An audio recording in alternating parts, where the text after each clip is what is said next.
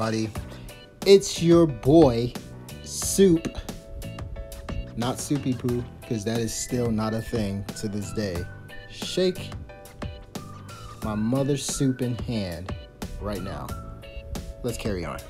Just wanted to make a quick video covering two things. The first thing is why I don't play web no more. Every time I'm in Discord and I pop in someone's channel, come out of hiding, the wild Pokemon appears, I get those questions bombarded at me or thrown at me. So I'm gonna address that. And then the reason I wanted to make this video, which is about these ninja tools that I had no, something I had no clue about that I think might shock a lot of players that have been playing as long as I have that I hope you guys knew about this and I'm just the only one that's in the dark. But if you didn't, it's kind of one of those smack your forehead moments. But uh, let me first get into the whole like why I don't play uh, web version anymore. Uh, basically, it boils down to this. When I quit, uh, I don't know, this was a little bit after Space Time was first initiated. Um, it's what, I guess a year, maybe a year and a half ago, roughly. Um, I saw the direction the game was going, um, and I just was out in front of it and just decided that I would not be playing competitively anymore. Um, I would still log in and just check out the new ninjas, grab new ninjas if I really wanted them to be a part of my collection and so forth and so on and so on and stuff like that. So you may, if you're from S1, which is where I played as Iron Soup or Edo Soup or whatever any of my previous aliases were, a soup bender and all that good stuff. Um, that's where you may have seen me online. Is me just adding to my Ninja Mind collection. Uh, but for the most part, I stopped playing the game competitively. No events, no wars, none of that stuff. No sages, none of that. Um, because the game was going in a direction I just did not agree and agree with the powers that be, and it's the players have some culpability in this as well. But for the most part, it's mostly on the powers that be, and they basically made the game into a cookie cutter game. Uh, they created uh, basically they create these ninjas with uh, not a lot of forethought as to the uh, to, as to how people would utilize them. Um, so, for example, on S1, if you look at what the top players are playing, it's a variation of the same teams. Everyone pretty much runs the same thing because you can't compete unless you're running something similar to that, which is unfortunate because that again eliminates the creativity, which eliminates a lot of the fun and epic battles that you could potentially have. Like, you know, when I was when they brought in the um, space time and you got to compete against people from other servers, I mean, those were some of the most epic battles I ever had. I'm thankful that I got a lot of those on video.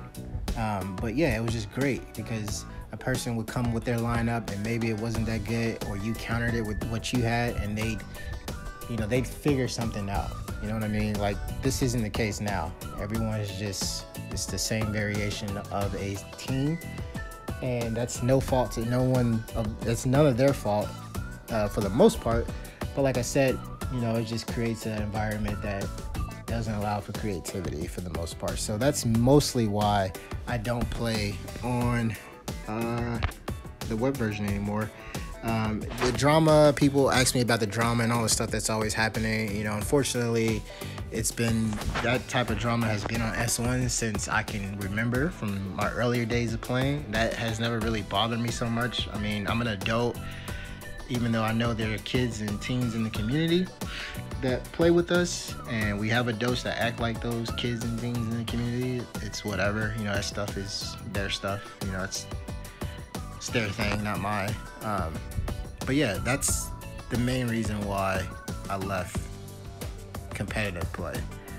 Um, I could easily be 600k plus right now if I really wanted to.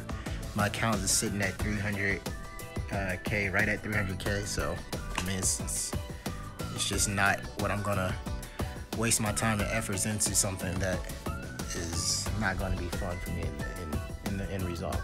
So mobile though, I think mobile has, is learning from those mistakes that the web has done because any ninja that becomes a staple, like for example this Jugo, when he was released, he was broken, and he still kind of is broken in the right lineup.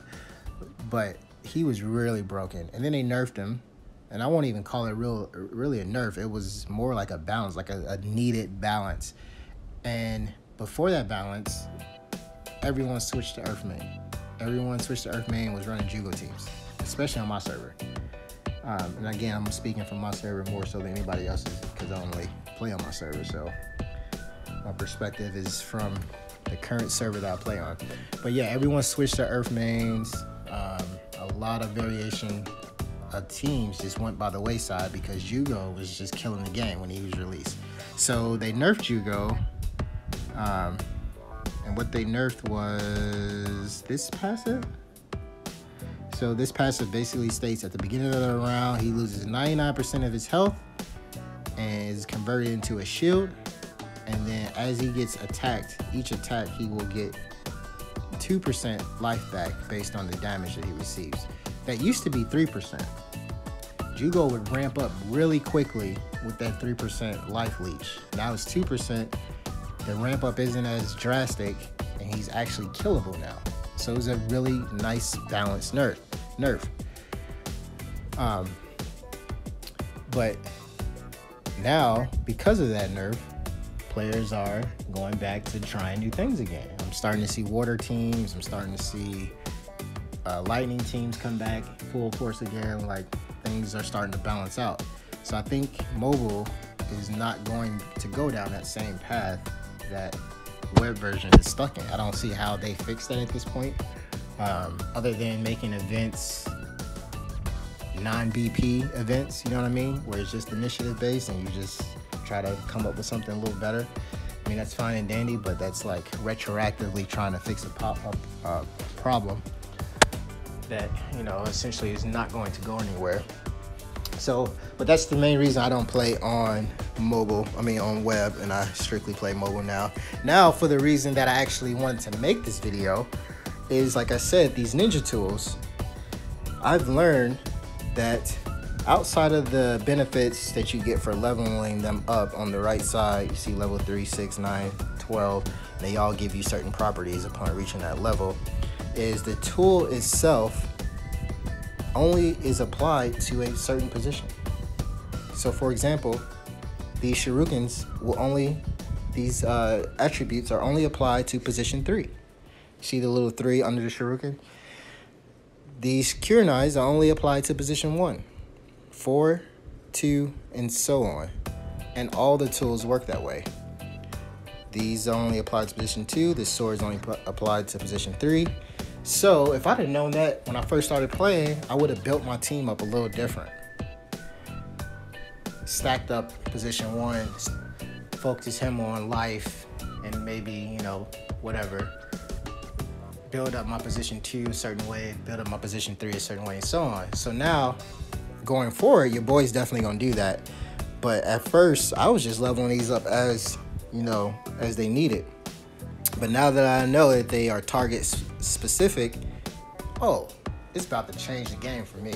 Because I was curious as how people had certain positions that were just hitting way too hard.